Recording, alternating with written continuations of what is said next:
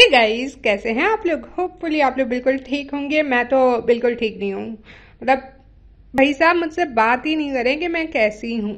Life is very अजीब। मतलब मेरा लाइफ तो इतना खराब हो गया ना कि बस चले, हम कुछ पढ़ लेते don't even get me started anyways आज हम पढ़ रहे हैं culture enculturation ethnic identity acculturation and ethnocentrism okay छोटी छोटी डेफिनेशंस हैं जल्दी जल्दी पढ़ेंगे ये इंटरपर्सनल कम्युनिकेशन की वीडियो है जी हाँ मैं सालों बाद ये भी अपलोड कर रही हूँ anyways so let's get started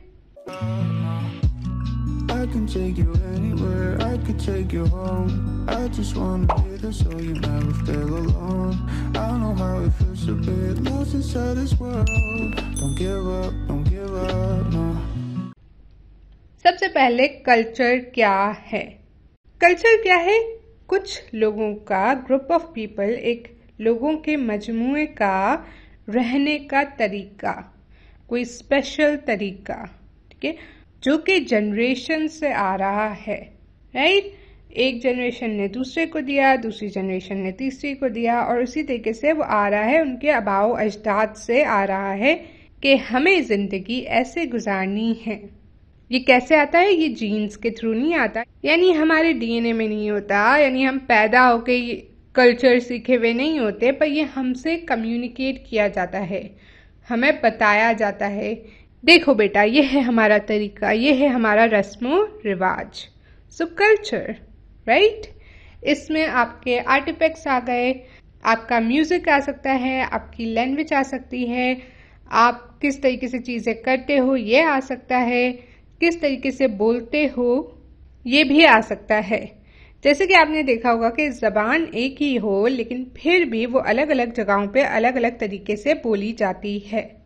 जैसे कि कुछ लोग कहते हैं, अरे यार, अरे, अबे भाई। और कुछ लोग कहते हैं, आप, आइए। दोनों कोई बुरी बात नहीं है मतलब अपना अपना कल्चर है। ये दोनों तरीके हैं बात करने के अलग अलग जगहों पे अलग अलग तरीकों से बात होती है और ये उनमें से दो हैं। राइट सो दैट्स कल्चर कुछ मखसूस लोगों का ज़िंदगी गुजारने का तरीका। Culture is defined as the relatively specialize life style of a group of people that is passed on from one generation to the next through communication not through genes next is enculturation अब ये culture हम सीखते कैसे हैं?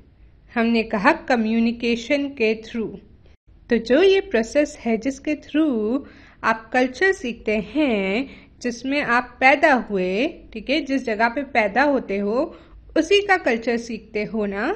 सो so, उस process को कहते हैं enculturation enculturation is the process by which you learn the culture into which you are born पैदा हुए हो जहाँ पे। उसका कल्चर जिस तरीके से, जिस प्रोसेस से सीखते हो, उसको कहते हैं इनकल्चरेशन कल्चर कहाँ से ट्रांसमिट होता है? हमने पहले भी कहा था, एक जनरेशन से दूसरी जनरेशन तक, ठीक है थ्रू इनकल्चरेशन कि हर बंदा इनकल्चरेशन के थ्रू जाता है और कल्चर सीखता है। हमारे टीचर्स कौन होते हैं? कल्चर सिखाने वाले। सबसे पहले हमारे माँ बाप। और फैमिली के और लोग भी हो सकते हैं। पीयर ग्रुप्स यानी दोस्त। दोस्त व अहबाब।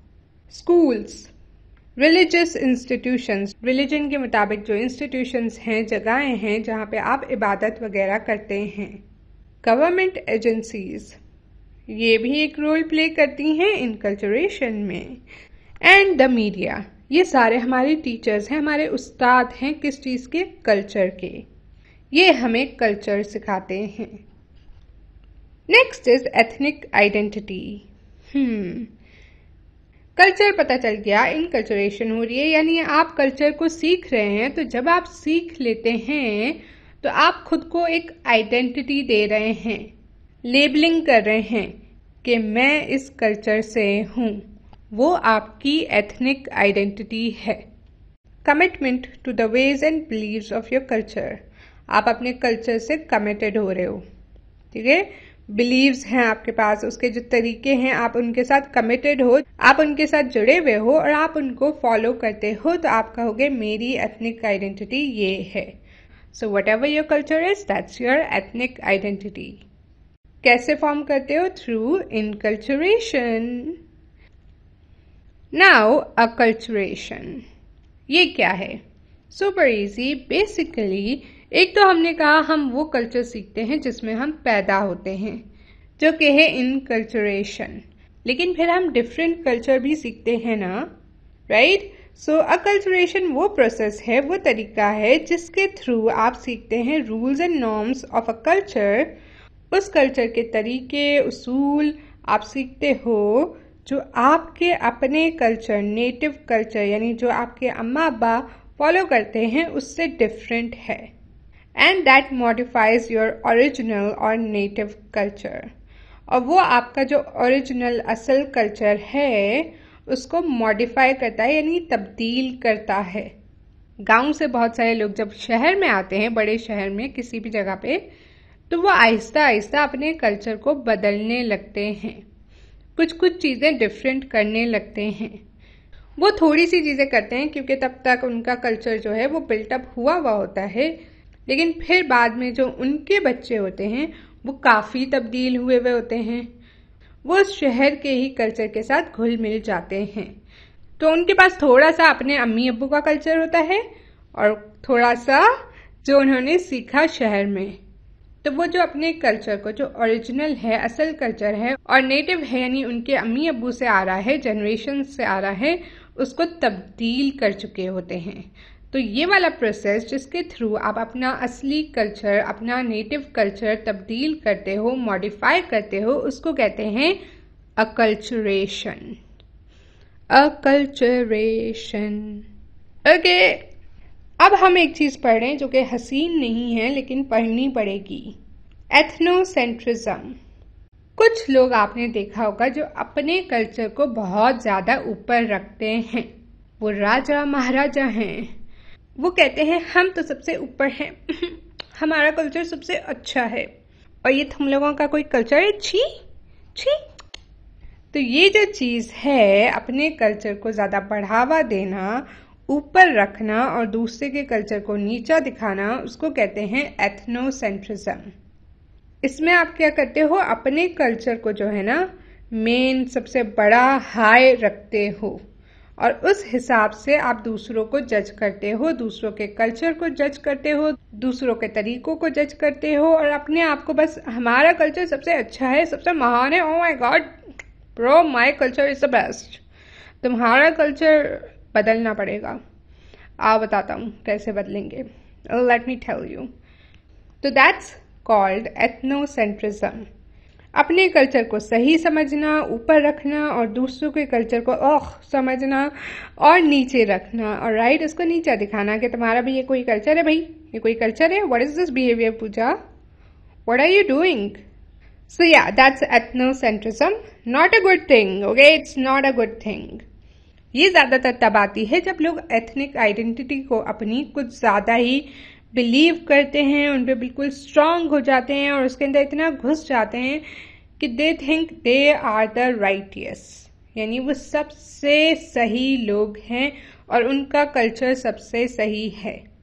लोग सही हो सकते हैं but the culture thing but the culture thing is wrong so हमें क्या करना चाहिए? हमें सब कल्चर्स को रिस्पेक्ट करनी चाहिए। आपका कल्चर डिफरेंट हो सकता है, मेरा कल्चर डिफरेंट हो सकता है। हम दोनों में मे बी अकल्चरेशन भी बहुत हद तक हो, मुझमें तो है।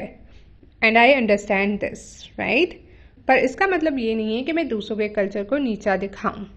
बल्कि मुझे सब कल्चर्स की रिस्पेक्ट करनी चाहिए रिगार्डलेस ऑफ़ वो किसका है, कहाँ से आया इट डजेंट मैटर मुझे पता है कि कल्चर ज़्यादातर लोगों के लिए बहुत ज़्यादा इम्पोर्टेंस रखता है, क्योंकि वो उनके अबाव अजदाद से आ रहा है। और वो उस पर बहुत ही स्ट्रांगली बिलीव करते हैं। तो we should all accept them कि जी हाँ ठीक है okay we respect you we understand you and and it's okay it's cool आप अपनी करो हम अपनी करेंगे। So yeah, that's how we should live. And for more motivational stuff, do come to my Instagram और सब्सक्राइब करो यार चलो चलो। Subscribe okay That's it for this video. Thank you so much for watching. Do check my Insta as well as my other YouTube channel. I really hope आपको कुछ समझ आया if आया तो make sure to subscribe, like, comment and share and that's it. Bye!